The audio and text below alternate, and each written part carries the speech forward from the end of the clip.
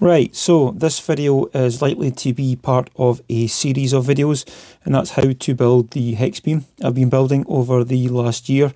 Um, so what I thought I would do is actually start with the centre plate. Now this hex beam has been designed in such a way that someone with basic DIY skills will be able to do this. Um, so I think this is one of the elements that puts people off is actually making something like this and making something that's uh, got a reasonable professional look. It's not saying it's perfect, but I think it looks pretty good. So I'm going to give you a run through now of how I actually do this and what you need to do. Um, so down in the description there'll be a link to a, a, folder which is on a Google Drive and that has got a bill of material uh, and it's also got um, a drilling template. So all you would need to do is print out the drilling template uh, cut it out uh, actually print it out in one to one size uh, cut it out stick it onto your your aluminium disc and basically just drill the holes in those positions. So this aluminium disc um, this was from eBay. So this was pretty inexpensive. It is 200 millimeters in diameter and it is three millimeters thick. So you don't need to do any cutting uh, like that. It's, it's, it's quite simple and you can buy these uh, aluminium discs. Now, I think sometimes call them aluminium circles, but um, yeah, have a look on eBay. I think that's the best place to get them. I have seen them on Amazon, but they have been a little bit more expensive. So once you get your aluminium disc, you then stick on your template that you've printed out in one-to-one. -one, and then you simply need to just drill the holes. Now you can just, I would advise you to centre punch the holes um, so you can get them reasonably accurate. Perhaps use a, a, a centre drill um, or a, a, small drill before you use the um, the bigger drill just so you can get them as accurate as they can because they do need to be reasonably accurate. So you need um, two sizes of holes for this. You need an M6 clearance drill for 2, 4, 6, 8, 10, 12, 14, 16, 18, 20, 22, 24, 26 holes um, M6 clearance. And this hole through the middle, this is 20 millimeter diameter clearance because that's to actually give us clearance um, for our centre post, centre mast. Now, if I was going to make this again, I'd probably use a 25 millimeter uh, centre mast, but with a thinner wall but it's up to you what you use. But um, what I'm showing you here is with the 20 millimeter center post. So once you've actually drilled out all your um, uh, positions, you can then think about starting to assemble this thing. And I've got two of these assemblies off here, these clamps, so to show you. So through the middle, you can actually see I've got two of these um, clamps. These are aluminium clamps. Now, I got these on uh, Amazon. They were about £12 uh, for the pair, which I thought was pretty good. And these are shaft support couplings, something like that they're called, um, but relatively inexpensive. Um, you could maybe get away with just using one, but I like to use one top and bottom just to give it that little bit um, additional strength. Um, these are clamped together with um, the M6 again, going all the way through. And you can see that we've got a, I think this is actually an M4 thread in these. Um, now, um, you do need to put the centre post in before you tighten this one up here, otherwise you don't have clearance in here. A little bit my mistake on my part, but maybe if it was positioned slightly different, you could you could get away with it. But it's but it's no biggie. So um, what this is, is a um, half inch tube by 22 gauge, I believe. So that is 12.7 uh, millimeter diameter and 0.7 uh, millimeter wall thickness. And this is actually, actually to accept our fiberglass poles, our tent poles. So again, all the measurements are in the uh, uh, the bill of materials. So I've got that, and it's about 74 millimeters long. So around about 70 millimeters is going to be long enough. At the end of that, you can see that I've drilled through and I've put a M4 a bolt and a nylock washer. And that's to just basically allow the poles to just bottom out.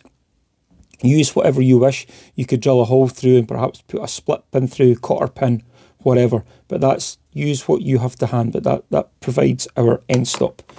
Now, talking these, these are um, basically hydraulic tube clamps. Um, now, these are quite inexpensive here in the UK. These are less than one pound each. I think these were about eighty pence, even with the uh, with the tax.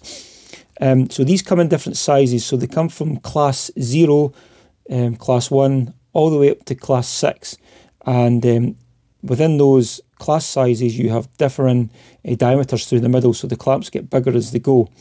So I actually was going to use smaller eight millimeter poles. Um, but couldn't do that. I had to use the bigger 11 metre poles, 11 millimetre poles. So I thought, right, I either have to remake this plate with size 2 clamps or could actually drill these out. So what I've actually done is I've used a step drill, which biggest diameter was 13 millimeters, and I've actually just drilled these out. I basically just clamped them together roughly, and I basically put the step drill right through it. And with doing that, you can see that it gets a a reasonably good fit. Okay. So you could build this plate with you'd need to re, you would need to basically redraw it out. Um, but for ease, I thought it was just easier just to actually drill these out. These um, class one clamps, the biggest size these go to is 12 millimeters. So when you go to half inch, you need to go to a size two, and it's a it's a good bit bigger. So um, if we're actually going to assemble this, Again, everything's linked down in the description. We've got a stainless steel bolt. We've got a washer. And you want to put this through like so. Like that. So I'm going to put that through on two of them. Doesn't matter which one goes on top, which one goes on the bottom. They're both the same. Um, so you would put your centre post through here before doing this. So just bear that in mind because you'd want to um, give this a little tighten. Um, and these would actually be tightened up at the end. So once you get tension, you then fully tighten these up. Okay, so put our clamps on the base, like so, like that. And then we would just put our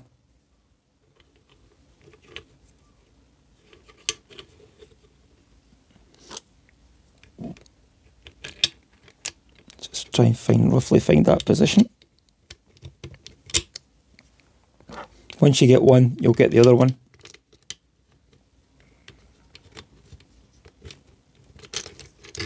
There we go, like so. And you can see that these then come out on the other side. What I then just do is I use a spring washer, like so.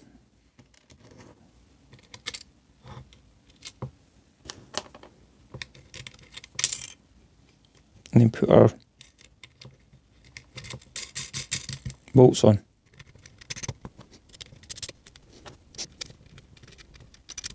And I'll just get our 5mm Allen key. And they're not actually turning at the back. Make sure that this is pushed all the way up.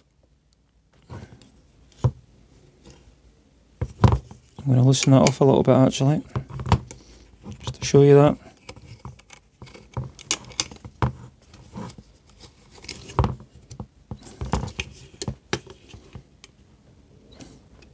There we go. So basically that bolt um, then butts up against um, here. I'll just give these a tighten up.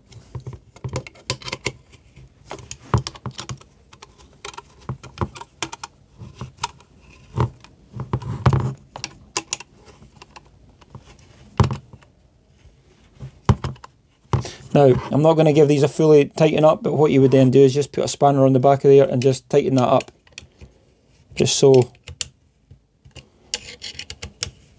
just so that the, the spring washer is compressed. Just nip them up.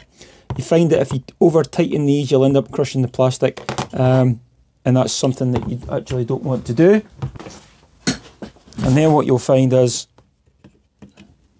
you'll find that your pole goes in here very nice and neatly. Um, one thing that I would say is that when I did receive these aluminium poles, um, tubes, um, I actually had to just take a file through the middle of it because um, the way that they were extruded together, there was just a little bit left over aluminium in there. So it was almost like a burr. So once I took that off, um, this then slipped into it just nicely. And you can see that's got a nice fit there. So there we are. So that's our hex beam centre plate made. And So next video we'll probably talk about the centre post. Um, again, it's not really complicated. Um, anyone with a little bit DIY skills will be able to do that. All right, guys, we'll catch you in the next one. 73, bye for now.